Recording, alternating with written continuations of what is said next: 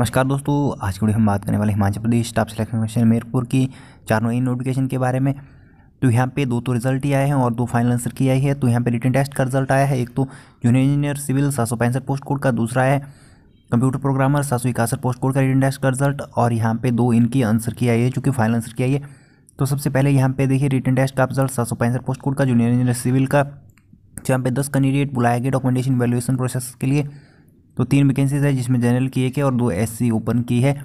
तो बाकी computer program में तीनों की वैकेंसी जनरल की है तो यहाँ पे पॉपअप में देख सकते हैं, इसका रिज़ल्ट भी आप रिटर्न टेस्ट का। और आठ फरवरी को आपकी डॉक्यूमेंटेशन प्रोसेस है। तो यहाँ पे देख सकते कितने स्टूडेंट ने एग्ज़ाम दिया था और कितने ने भरा था। तो यहाँ पे आप कंप्लीट देख सकते हैं, अगर आपने इनकी फाइनल आंसर की डाउनलोड करनी है तो लिंक वीडियो डिस्क्रिप्शन में दिया है।